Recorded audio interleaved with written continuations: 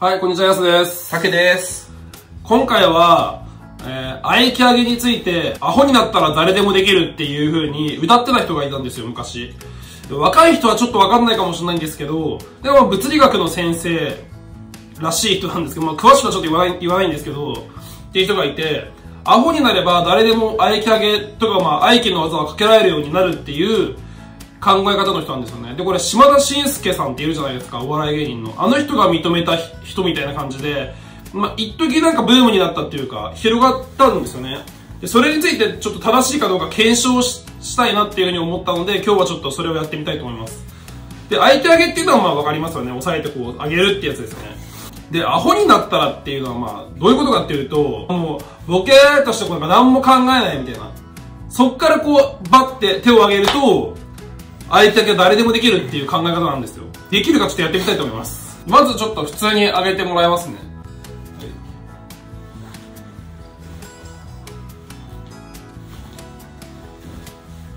はい。はい、次、アホになる。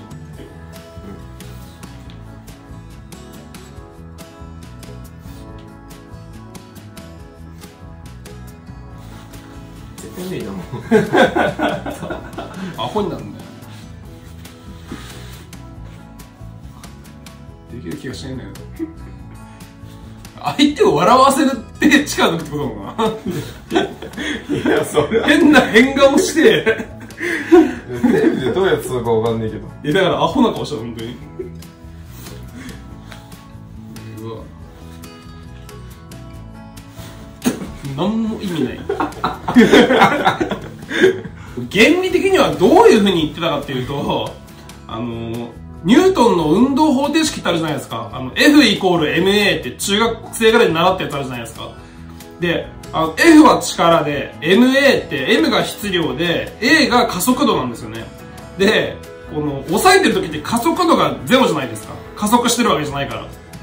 したら、まあ、質量がなんぼだろうが、加速度とかけるとゼロになるじゃないですか。力はゼロだって言うんですよ。ここに加わってる力ゼロだから、あの、上げれるって言うんですよね。アホになるとどうなるかっていうと 人間って自分が意識してから行動するまでって0.5秒かかってるって言われてるんですよね。あと脳がまず上げるっていう風に、右手を上げるっていう風に信号を出すんですよ。そして意識、今度意識で上げるっていう思って上げるっていう風になんですよね。だから、この脳がシグナルを出してから自分がそれを意識するまで0.5秒かかるらしいんですよ。そこにそのタイムラグがあって、その0.5秒は無意識化というか、あの、本人も気づかない空白の時間があるんですよ。その、ラグがあるんですよ。らしいんですよ。だから、その0、その0.5秒を、あの、アホになることで埋めるっていうんですね。埋めることで、相手よりも先に動ける。相手が力がゼロの時に自分を上げれるから、上がるっていう理屈らしいんですよ。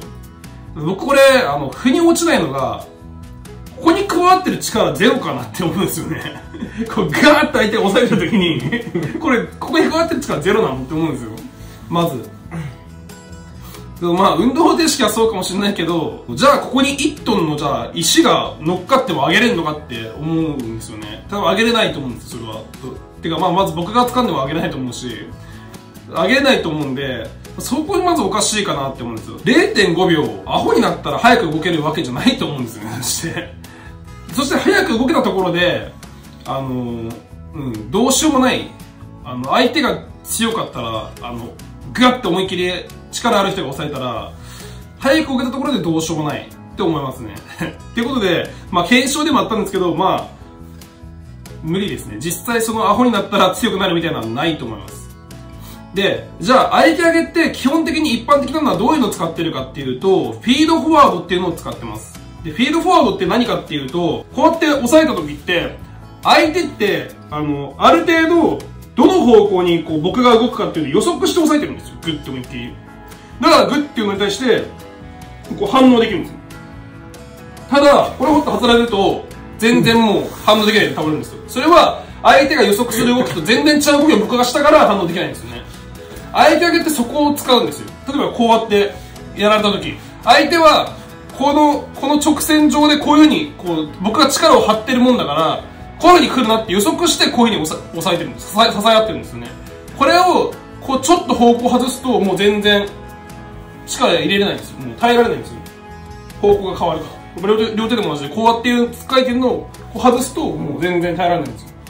これが、あの、まあ、一般的な相手上げなんです。僕は好きじゃない理論ではあるんですけど、フィードフォワードっていう、まあ、こう相手が予測した動き、それを、こう、逆手にとって方向をちょっとずらす、気づかれないようにこうずらして、こう力が入らなくするっていうのが、まあ、あえき上げなんですよね。素人の方とかだったら、さっきのそのフィードフォワードを使ってやった方が、あの、この方向をちょっとうまく変えることでやった方があえき上げっていうのはできるのかなっていうふうに思います。ということで、今回は終わります。ありがとうございました。